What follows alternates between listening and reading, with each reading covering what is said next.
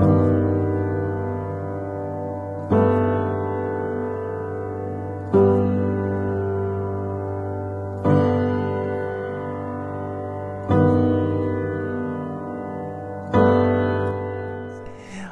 Ah, gegar-gegar tak baik lah cakap tu. Habis tu aku tengok isu Islam tu meletup je. Aku tengok uh, apa namanya um, elit semua kan. Taklah sendu. Jangan cakap macam tu. Tak baik. Um, overall on behalf saya um, gegar-gegar adalah satu platform untuk tipu lah kalau saya kata kalau ibak kata bukanlah semua yang sendu. Sebab orang pun kena interview. Kalau mereka tak ada suara yang bagus orang tak ada vokal yang bagus dan mereka tidak ada aura yang hebat pastinya mereka tidak bertersendar dalam gegar-gegar dan gegar-gegar apa saya rasa antara program nombor satu uh, apa program nyanyian uh, apa uh, yang paling tinggi di Astro.